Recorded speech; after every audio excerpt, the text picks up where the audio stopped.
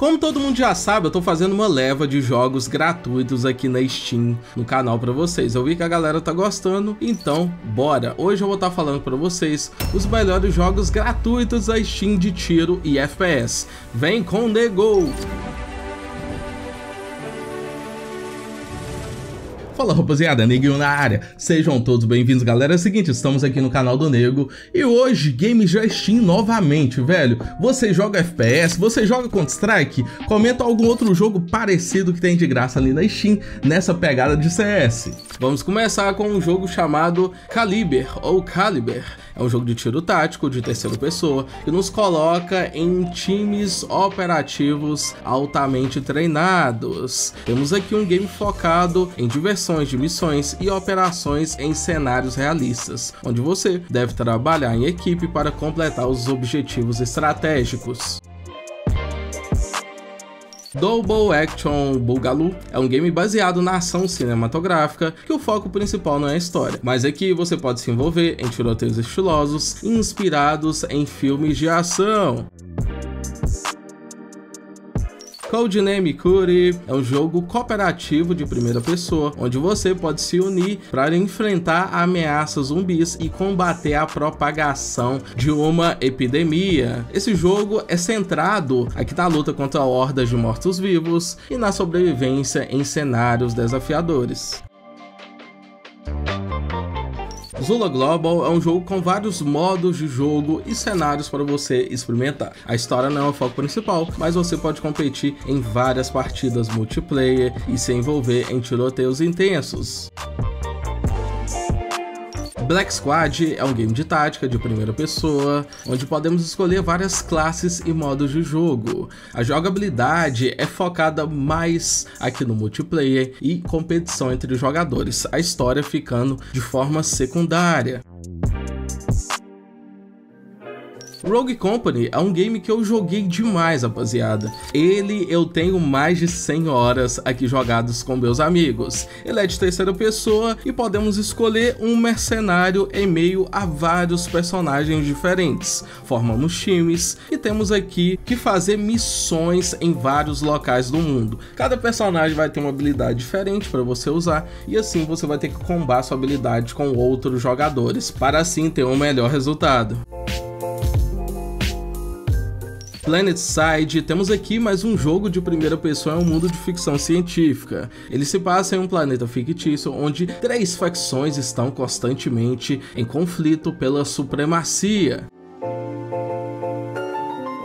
Infestation The New Z é um MMO de sobrevivência em um mundo pós-apocalíptico infestado de zumbis. A história é sobre a luta pela sobrevivência em um cenário devastado, onde você vai enfrentar outros jogadores, tanto até os mortos-vivos. Warface, temos mais um jogo que abrange a vários modos, incluindo PvE e PvP, assim você podendo escolher qual que vai ser o seu foco quando você abrir esse jogo. Embora a história varie de acordo com os modos em geral, nós enfrentamos ameaças globais e operamos em equipes para superar os desafios. Tears from Trees é mais um jogo de primeira pessoa com elementos de combate em equipe. Daqui não possui aquela história linear e apresenta duas equipes rivais de personagens com diferentes classes e habilidades. E assim você vai competir em vários mapas e modos. Ele é aquele famoso jogo que você vai escolher o seu personagem e cada personagem vai ter sua habilidade específica para você ajudar o seu bando. Destiny 2 é um dos jogos mais famosos que eu já vi de todos os tempos em relação a RPG e tiroteio. Aqui estamos no universo de ficção científica e você assume o papel de um guardião. Ele é defensor da última cidade segura da Terra. Nós vamos ter que lutar contra ameaças alienígenas e buscar recuperar o poder dos viajantes.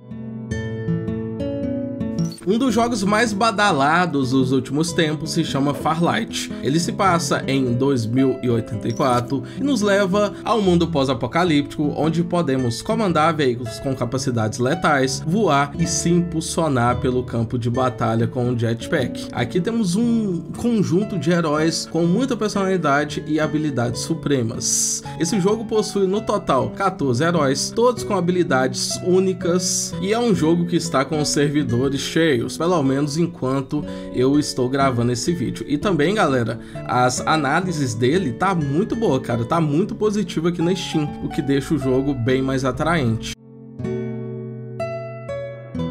Combate Master Season 1, temos um game repleto de ação e tiroteio em ritmo acelerado. É um jogo bem parecido com COD, alguns elementos também de Battlefield, também de, de CS e muitos outros. Galera, realmente tem que testar para ver a opinião de vocês. Eu vi aqui que ele não é aquele jogo tão leve, tá? Os requisitos mínimos dele são bem pesadinhos. Overwatch 2 é uma sequência do popular jogo de tiro da Blizzard. E quem não sabe, o Overwatch 1 ganhou como melhor jogo do ano. Se eu não me engano, foi em 2016, 2015, 2017, por ali, nessa janela aí de datas, tá bom? Embora a história exata não tenha sido completamente revelada, esse jogo continuará a explorar um universo futurista, onde heróis de diferentes origens se unem para enfrentar ameaças globais. Apex Legends é um Battle Royale ambientado no universo do Titanfall. Embora a narrativa não seja linear, esse jogo apresenta personagens com histórias individuais e se passa em um futuro onde lutadores competem em um torneio mortal. O mais legal que desse jogo é aquele fator que eu sempre falo para vocês. Cada personagem vai ter sua habilidade própria, assim você vai conseguir ajudar a sua equipe de forma mais efetiva.